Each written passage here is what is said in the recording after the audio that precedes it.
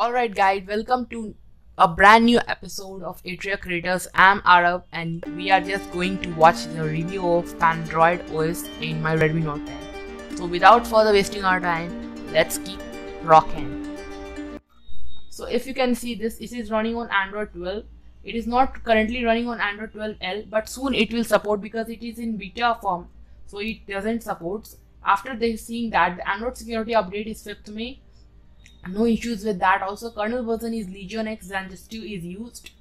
Otherwise if you see that there is nothing more things we are given. It is the first beta 1 update. If you go to system there is the option of gestures. Quick tap and you can select what you want. If you not, not want notification just click on two times here and you get a notification panel. Quickly open to camera. Is there just a navigation? From here you can see this immersive navigation you, you can see this the navigation gets hided so there is no options of that also. After seeing that you can also disable it but i can only say that if you want to use that you can also use that also. So 100 mode is also there it is working fine as you can see this. Sometimes it doesn't work but it works all the time. Playback control you can enable from here. How much quick torch is also there. How much time you want the want the and it, the torch gets opened. So screen of gestures is there. What do you want? While double tap? If i double tap here the uh, torch gets opened. So it totally depends on you. What do you want and what you doesn't want. And after seeing that all of the things there is option of the rules. You can use that also. Nothing more new is that in the battery options, you can see the battery usage. I already got about 10 to 11 hours of SOT in this device. So there is nothing issues with that also. You can also enable show battery percentage. You can see that there is option and it gets enabled help you out. Default launcher you do get Panadroid launcher. From here you can customize this launcher. It doesn't comes with a more customizations. Game space is there. You can enable game space from here and you can add this applications in there also. In the i already told you about the battery. For the next thing display you get nothing in the display. Icon manager you can enable which is here. You if you change that it gets changed. Nothing new about this. Color saturated natural what you want you can just enable from here. Nothing new is given to this after seeing all the things, you can see the wallpaper and style. You can arrange which type of content you do want, themed icon or non-themed icon. If you like the themed icon, you can change from here. And I don't like the normal icons because we already have many years passed away with having the normal icons. And yeah, some apps don't support the themed icon because it is in beta update. Google will soon push an update to this so they can get fixed after seeing that all the things i will share you the screenshots what i have just searched out.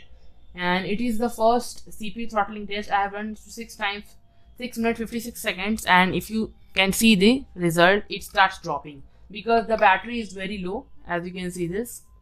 Battery is too much down. And after my charging goes i will also share that screenshot. It is the storage speed test and you can see this it performs well 21103 and it is the Antutu score 2,79,983 approx 2,80,000 you get a GPU 43,486 which is better. Uh, here's the 6 degree up in temperature and 3 percent drop in battery. So there is nothing issues with that.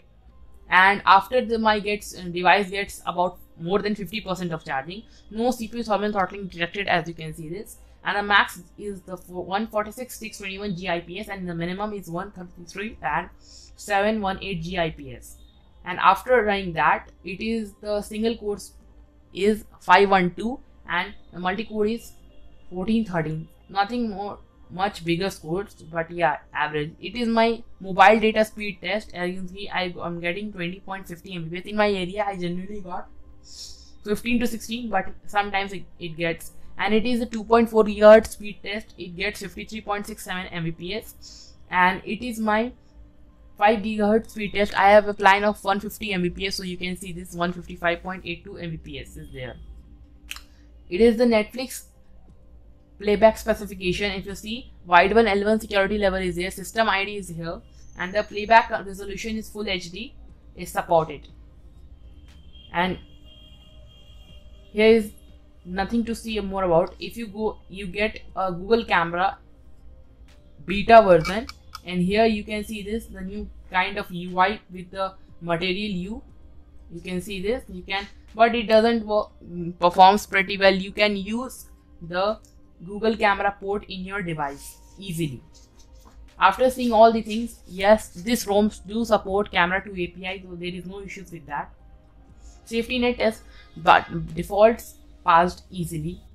And if you ask me for the safety net sorry device certification device is do certified. I'm currently telling you that it is in beta update version but it will soon support a re basic release in this ROM. So thanks for watching my videos. If you don't like subscribe please like subscribe our channel. So till then thanks and do like subscribe to our channel. Bye bye